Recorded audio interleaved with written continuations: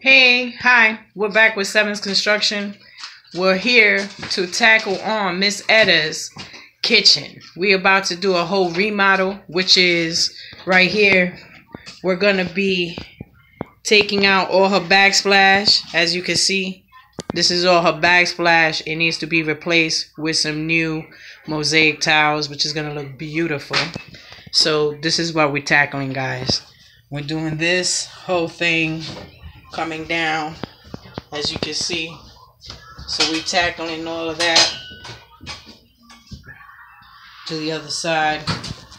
And then we're going to be tackling also the cabinets underneath, which I'm going to give you a short preview so that you guys can see the before and after. So we're going to be taking these ca these cabinets off. You know, all of these is going to be replaced with new cabinets. The ones on the top are going to be stained and refinished when we're done.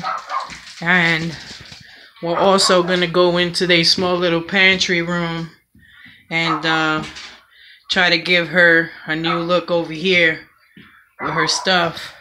You know, um, don't mind the mess. She had to take everything apart so that we could put everything together for her.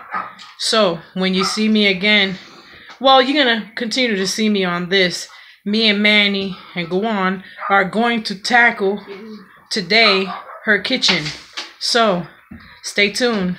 Keep watching. We're about to do demolition in Miss Etta's kitchen. Get it? This is why I'm facing that way. Hold it, hold it this way. We're gonna do, we're gonna take the hammer to give you a short, give you a short preview of what we're gonna do.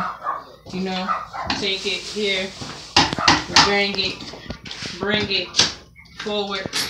You know, and basically all we're doing is removing all of these out.